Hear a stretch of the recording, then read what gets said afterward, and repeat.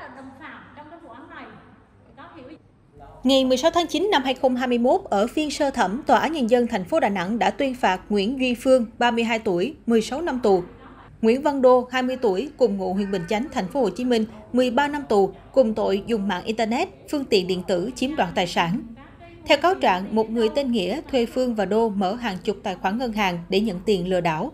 Trong 2 tháng 3 và 4 năm 2020, nhóm Nghĩa lừa 3 người chiếm đoạt gần 4,3 tỷ đồng. Thủ đoạn của nhóm là gọi điện đe dọa người dân nợ tiền cước viễn thông, nợ ngân hàng.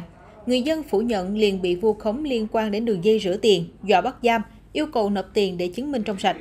Các nạn nhân tin tưởng, nghe theo hướng dẫn, tải ứng dụng lạ trên thiết bị di động, sau đó nhập tài khoản, mật khẩu và mã OTP liền bị chiếm đoạt tiền.